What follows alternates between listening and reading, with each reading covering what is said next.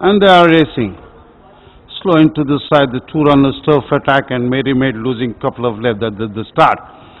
As they start themselves out, hitting the front is uh, Hero's Choice. Hero's Choice is there up in front. Very close behind comes moving on his outside is Koinur Punch. Then on the inside is Two Scholar. Gap of about two to three. Uh, two Scholar now takes over the running. Two Scholar is the leader from uh, Golden Jewel in second. Then there is Koinur Punch. Then there is uh, very close behind comes uh, Hero's Choice. Gap of about two to three lengths behind comes uh, Golden Dash. Then then way behind is Mary Maid. At the runners enter the home straight with about 500 odd meters to be run. There is two scholar on the inside. Golden jewel on the outside. Then there is hero's choice is slightly dropping back. Then there is koinur punch.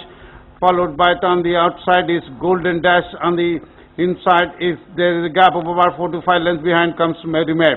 but it is uh, still there up in golden jewel then there is true scholar hero's choice koinur punch golden dash then there is vijay's victory, but with about 100 meters to be run is Golden Jewel. And Hero Choice making a good run on the outside, but it is uh, Golden Jewel wins the race from uh, Hero Choice. Then comes Two Scholar, the Golden Dash, then there is Vijay's victory, followed by Koinur Punch.